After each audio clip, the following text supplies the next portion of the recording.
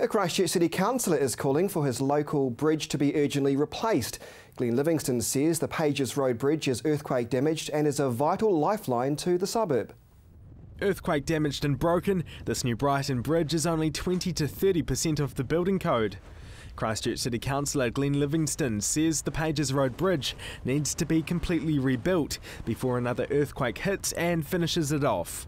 This is a top priority. It needs to be addressed. New Brighton resident Emma Payne approached to local city councillor after becoming fed up with the state of the bridge. Can't help but wonder what it's going to look like if there was another emergency like a earthquake um, that compromised our bridge, what that's going to look like for me, my family, my street um, and my community. How are we going to get out and how are services going to be able to get in? Councillor Livingstone wants the New Zealand Transport Agency to stump up more than $7 million to replace the bridge. The council will pay nearly $8 million or 52% of the cost. I drive over this bridge pretty much every day, sometimes more than twice a day as well, and you can't help but sort of question the um, the soundness of the bridge. Um, you can see that it inclines where it's not meant to. You can't even walk on the footpath at the moment either. The NZTA wouldn't comment on the matter, instead referring all questions to the City Council. But in February last year, former SCIRT General Manager Duncan Gibb told the press a new Pages Road bridge would be built, but work couldn't start before repairs to the Bridge Street Bridge were finished, and that work finished last month.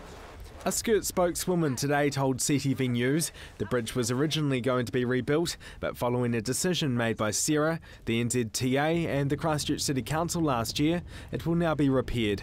That work won't start until 2016. But Emma Payne says that's not good enough.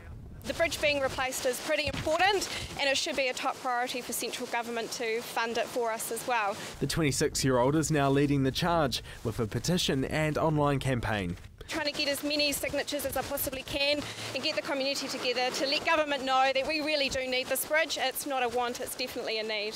But this isn't the only bridge needing serious repairs.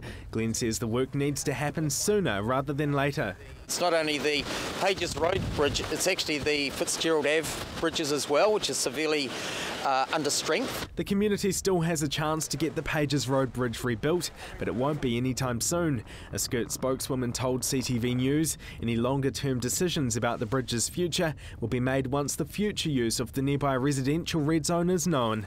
Marcus Gibbs, CTV News.